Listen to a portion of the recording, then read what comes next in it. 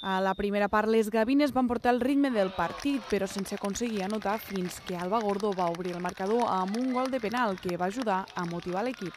A partir del gol que ha marcado eh, Gordo de penalti, o sea, hemos, nos hemos subido, hemos peleado, hemos presionado más, hemos mordido más, pero hostia, no, no tenemos esa suerte que, que tienen otros equipos para llegar a, arriba.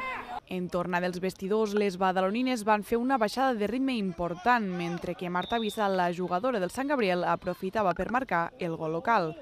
Un empat que les jugadores van viure com una victòria. Nosaltres estem contentes per l'empat, però bàsicament perquè coneixem molt el Sigul i sabem que serà un equip que estarà a dalt.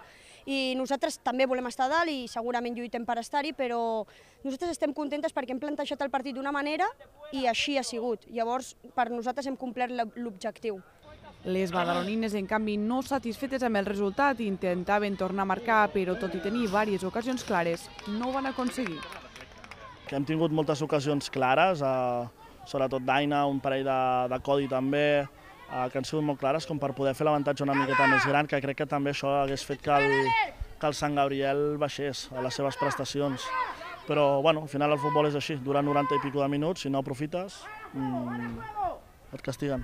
I ara les gavines continuaran treballant per sumar punts de cara als propers partits. El següent serà contra el Rayo Vallecano B aquest diumenge a les 12 a l'estadi municipal.